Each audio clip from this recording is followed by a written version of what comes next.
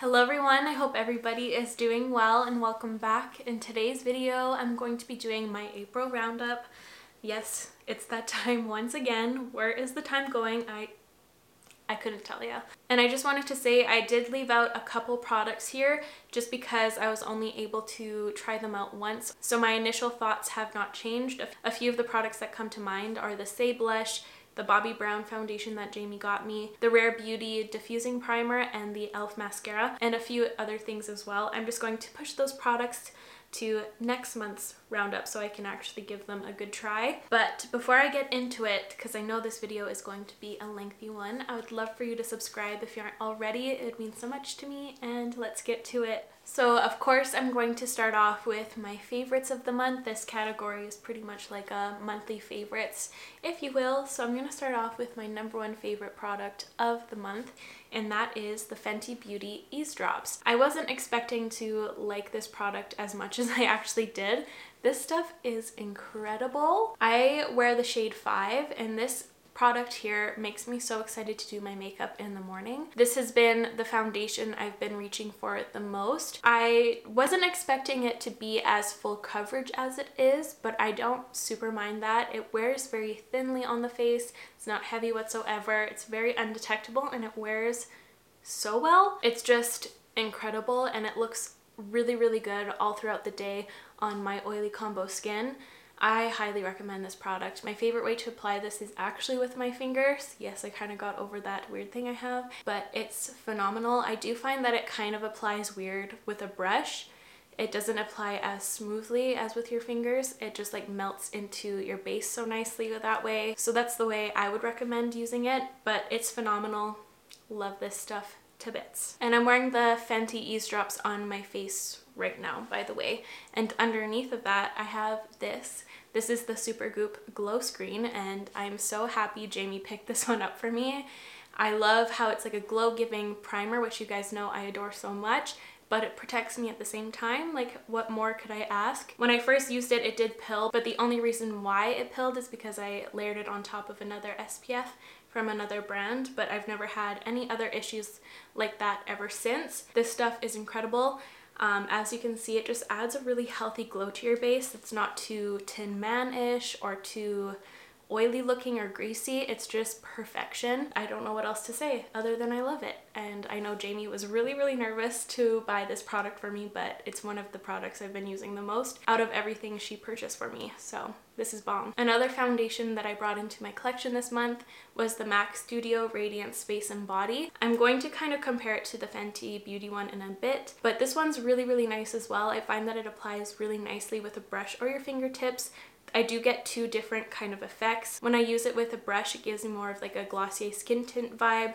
And when I use it with my fingers, it kind of thickens up and it gives a nice unique texture. How they differentiate this one has a lot less coverage and it's quite dewy, whereas this one has like a soft satin texture where it's still glowy but a little bit matte at the same time. It's right in the middle there, and this one has a lot more coverage. So these two products both have a place in my collection. I see myself using both of them a ton. In this product, I use the shade N1, so I totally recommend this one as well. I can't compare it to its older version just because I never had that in my collection. I've only used it once during makeup school, and that was only for a day. But on its own, I adore this stuff. Another one of my major favorites of this month was the Patrick Ta Cream Contour and Powder Bronzer Duo. I love this. I have both formulas on my face today. This stuff is mistake proof. It looks amazing layered on top of each other or using the cream alone or the bronzer alone. It looks phenomenal anytime you use it. I was a bit worried when I first got this because I didn't want it to look too much on my face. Sometimes when I contour and bronze at the same time, it's like a little too makeup-y for my vibe, but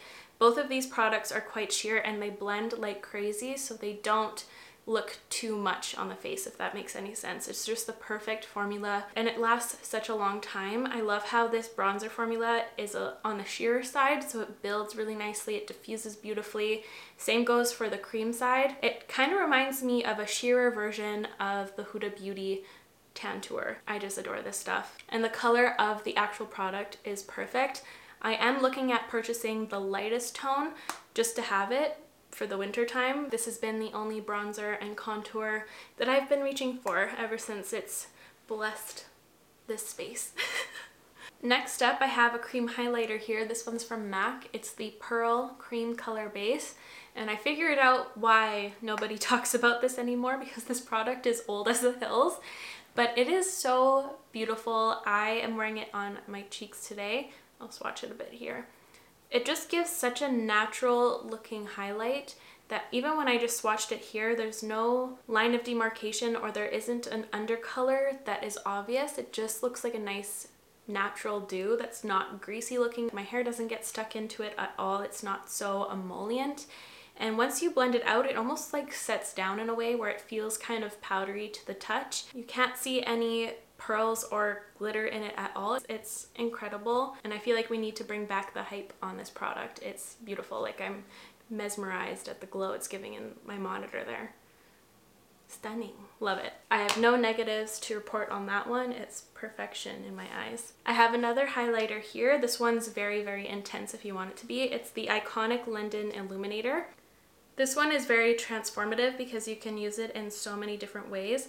I swatched it right here so you can see how much more intense it is compared to the MAC one.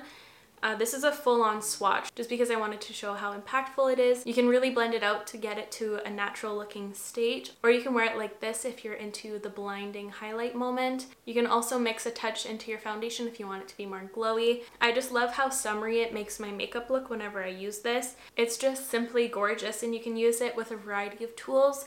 I've used it with like my fingers, a brush or a sponge and it works beautifully with whatever you use to blend it out. I, I don't know, I just really, really like this. And I'm so happy I can get my hands on it now since it's more accessible. It's available on Sephora now. I remember when I was first starting off on Instagram, this was in every Instagram video and every post I felt like, but it was really hard for me to get it at the time. So I'm just so happy to have this in my collection finally. the next product here is the Josie Maran Vibrancy Argan Oil Full Coverage Concealer. I actually really, really love this. I find that it's a more high coverage version of the Kosas concealer. It wears really, really nicely. It doesn't look like it's too thick under your eyes. It wears very thinly, but it does have a lot of coverage. I'm so happy that Jamie picked this one up for me. I've been using it like crazy. Also, I think the packaging is fun. All of these colors and the colored wand, it's just makes it a little bit more fun. I've been missing color this year, so this has been treating me good. Nothing wrong to report either. I feel like this is going to be a concealer that I put into my rotation. I have another one here that took me by surprise. This is the Brow Fix Clear Brow Gel from Charlotte Tilbury. At first I wasn't really sure, but then I started using it on an everyday basis on top of my M Cosmetics brow cream. I like this product if I want my brows to look more defined that day. It just kind of spikes them a little bit more. It doesn't give you like that laminated spiked brow effect at all. It just defines your brows even more and sets them. I have it in my brows right now and it doesn't feel crunchy at all. They just feel set in place. And I really like on the actual brush how you can see a lot of product on there because I found in the past with a lot of these types of brow gels, the stopper inside the bottle here like squeezes the bristles too much so there's like barely any product on the wand but with this one you can see a lot of the product and it actually applies to your brow really nicely so it's a quick experience and it sets your brows perfectly. Moving along here I have something I was not expecting to work for me at all and that is the Kosas 10 second eyeshadow. I have the shade Globe and honestly, I'm so happy that Jamie picked this up for me because this is a product I would have never tried on my own just because I wouldn't expect for this to work for my oily eyelids at all. Just because it's so liquidy, I don't know. It's just such a unique product. It's so interesting. But this stuff wears so well it's so easy to work with. You can blend it out super easily and very quickly. The name of this product lives up and it also just wears incredibly. I've never had this product crease on me at all. It wears really nicely. It doesn't dry out your eyelid. The only thing is like when you're applying it, you have to make sure that it's like this on your desk. If it falls over, a bunch of it will spill out. So you just have to be careful with the placement of this.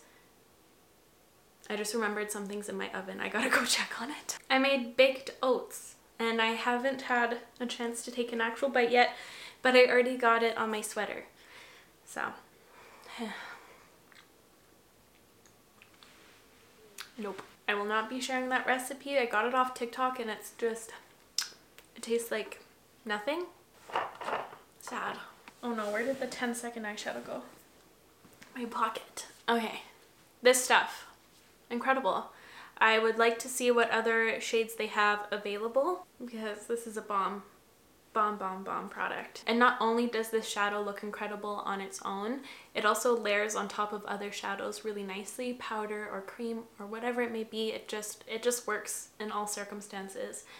It's great. One of kosas's gems that's for sure. Following up here i have the elf primer infused blush and bronzer. I was a little bit iffy about these products at first because when you swatch them, there is like a like a creaminess to it in a sense that it, it just feels a little um, hydrated. I almost said moist. Well, I just said it anyways, but there's a moistness in this product here, which with my experience with other products similar to this, they don't blend out that easily or nicely, but that isn't the case with these at all. They're very easy to build up and diffuse. They're not super, super pigmented, that they're hard to maneuver all over your face. They're just very effortless and easy to work with. And the colors are beautiful as well. This is my favorite blush I've been using. It's called Always Rosy. I'm wearing it on my cheeks right now. And the shade I've been using in the bronzing colors is Forever Sun Kissed. They're just great products. I see these being staples in my collection and I have been using these a ton this month. And I don't see that changing anytime soon. These are for sure drugstore gems that feel high end. These perform just as well or even better than a lot of products you can get at say Sephora. Next up, I brought in these. These are the Makeup by Mario eyeliners. I didn't think that these were going to be any different from other eyeliner pencils, but I was wrong. These are pretty much just shadows in stick form. You can use them in so many different ways and they work out flawlessly any way you use them. This is a special formula because it wears beautifully in the waterline. It doesn't smudge at all and you can also smoke these out or you can create really sharp eyeliners with it. It's really nice to create those sharper liners because it's a super glidey formula. It doesn't tug at all, especially if you're working with a brush. Sometimes that can be a little tricky since it kind of dries on that brush quicker, but I don't experience that at all. You get a lot of playtime with these sticks.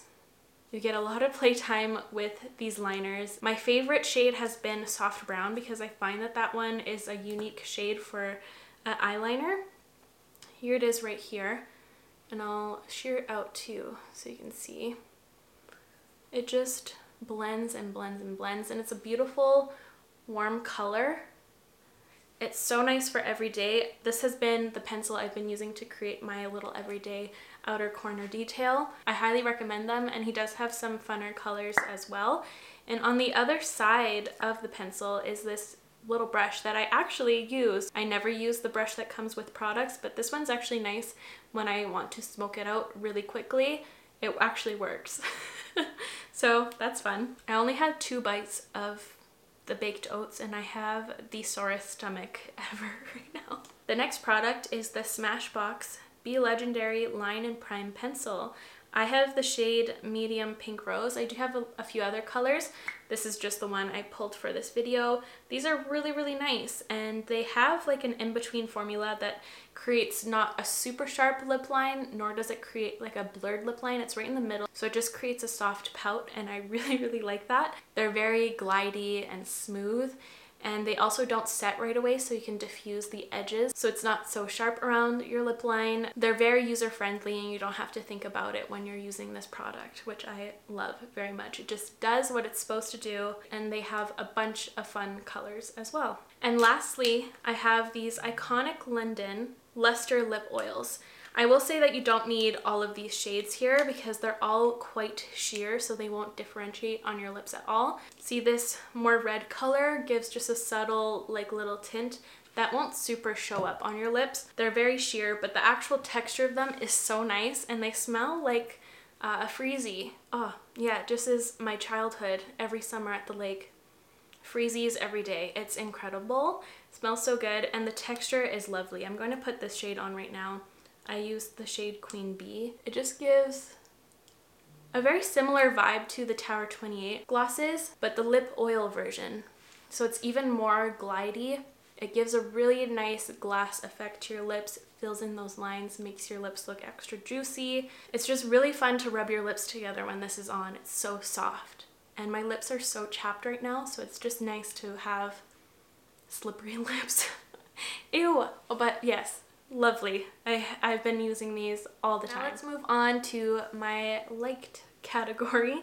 I'm going to start off with the Rare Beauty eyeshadow primer. I actually quite enjoy this one. It's not as long wearing as my Fenty Beauty one. My Fenty Beauty one, I never have any creasing problems or anything like that. I did encounter a few times that my eyeshadow creased with this one, but it was very, very minimal creasing. I really like this one because it has a tint to it, so it does slightly correct your eyelids, and I've been looking for one that does that without looking cakey or texture enhancing. It feels really similar to the Fenty Beauty one, it's just less waxy. So I'm going to for sure keep this one around, especially for the days if I'm doing a more natural look and I want an overall corrected vibe. But it's in this section just because I have encountered some slight creasing. Continuing with Rare Beauty, they launched this eyeshadow palette this month. This is the True to Myself Discovery Palette and it looks like the phases of the moon here. When I first saw this online, I wasn't sure about it. I thought the color scheme of this palette didn't really work together just to my eyes, but I was surprised when I actually was using it that all the colors actually worked together really nicely. It didn't create any muddy colors at all. They all just blended into one another seamlessly. The quality of the actual shadows in here are really good. I didn't experience any patchiness issues. They layered on top of each other really nicely without creating any irregularities or anything like that. The shimmers are really nice as well. They're not the most impactful, they give me more of an everyday vibe, but they're still on the fun side. And this pressed glitter topper shadow in the middle here actually adheres to your eyelid really, really nicely and it is quite beautiful. But now talking about my personal tastes, these are not my go-to tones on an everyday basis, so I feel like this one isn't going to be as loved as some other eyeshadow palettes in my collection. But if these are your colors, like go for it. I don't think you're going to be disappointed in this palette at all. I think it's a really fun one. The tones all complement each other on the actual eyes beautifully. This is for sure a personal preference thing. Next up here, I have the Iconic London Sheer Blushes.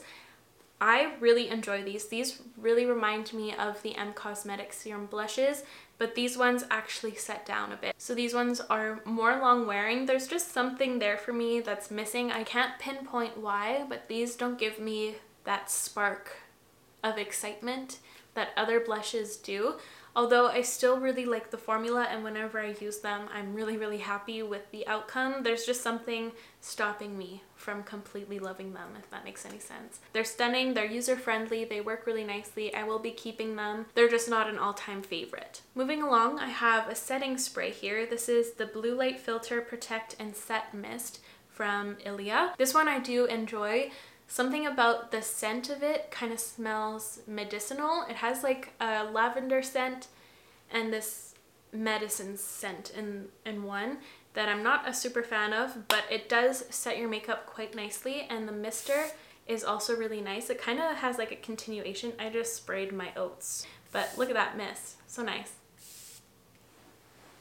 I missed. I missed with the mist. I will be keeping this one around, but I do prefer the Charlotte Tilbury setting spray as well as the Milk one a lot more. I find that those ones really adhere your makeup onto your face all day, whereas this one, it just is like kind of a hydrating and like a nice feeling mist that also sets in the same way, but it's not as hardcore, I guess. It has a really nice atomizer.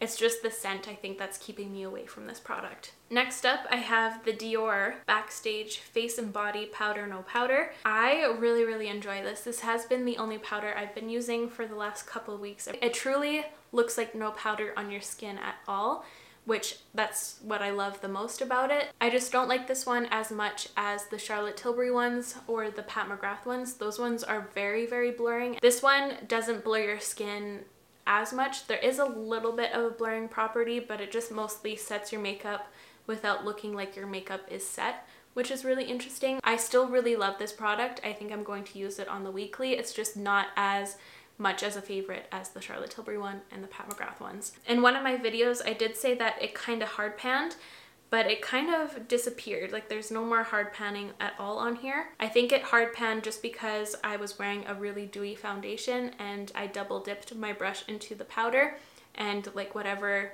wetness from the foundation kind of got on top of the powder, which would happen with any powder. I haven't had that issue since that one video. So that is a relief. So the last product in this category is the Danessa Myricks Beauty Dew Wet Highlighting Facial Balm. You guys know I'm not a super fan of highlighting balms myself, but this one is really interesting.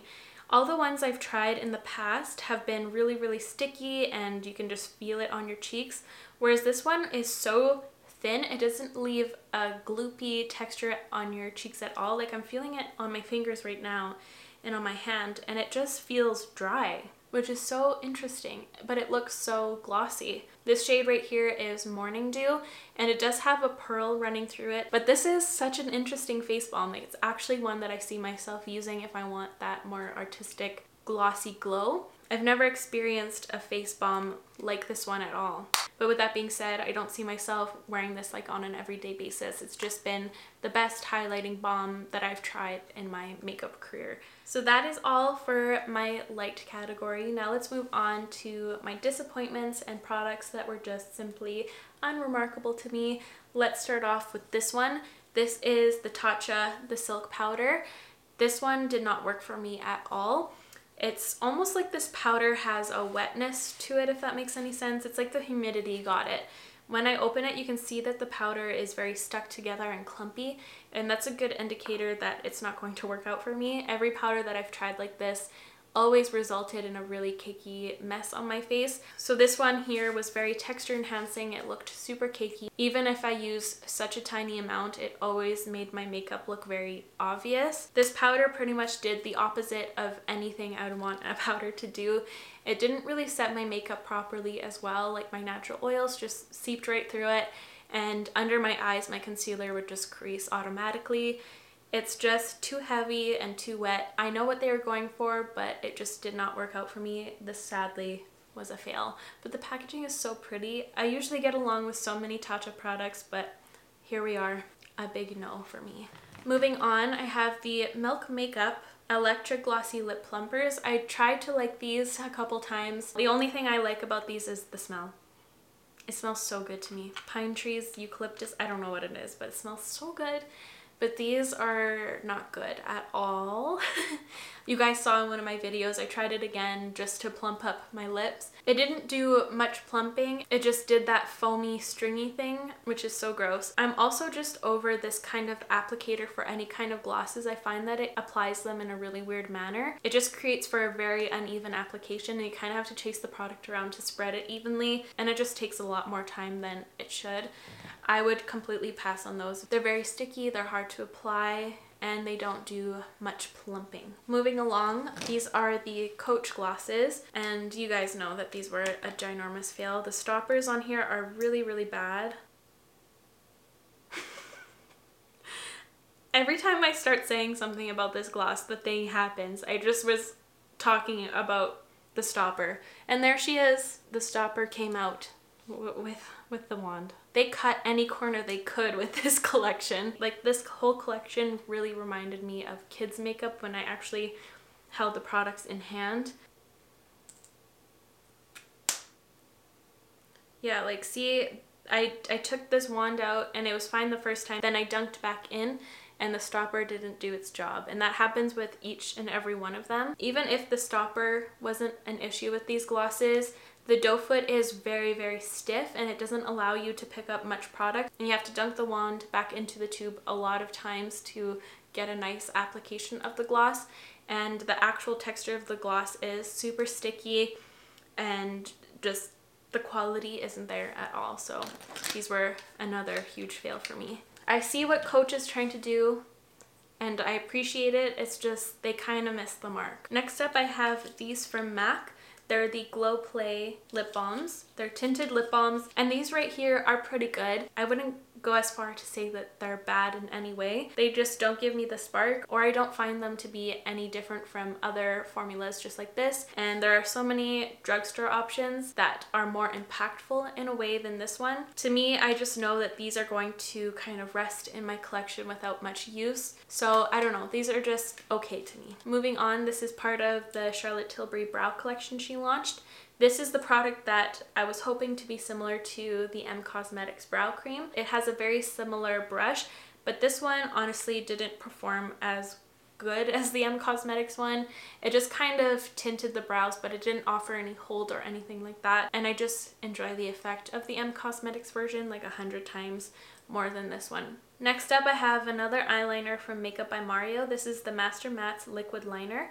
This eyeliner is a felt tip, and I don't get along with that as much as a brush tip. I always find that felt tips don't last as long. The thing I really liked about this one is that it has a really matte finish but there also is a problem with that because it applies really nicely on the first eye, but when you get to your second eye, the product that's actually on the felt tip itself starts to dry already so you get a really skippy, hard application. It's just not very user-friendly. I took so much time trying to create a nice little wing with this and it just took way longer than it should have. I would pass on this one. What's missing for me is that little mechanical thing inside most of these types of products that you can shake so more of the liquid dispenses. If this liner had that, I feel like it would be more successful it just kind of missed the mark for me. But there we have it. There is my lengthy April roundup. I really hope you enjoyed today's video and found it helpful.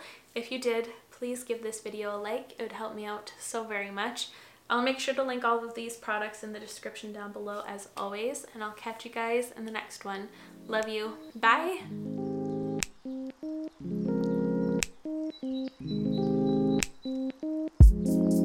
Thank you. 嗯。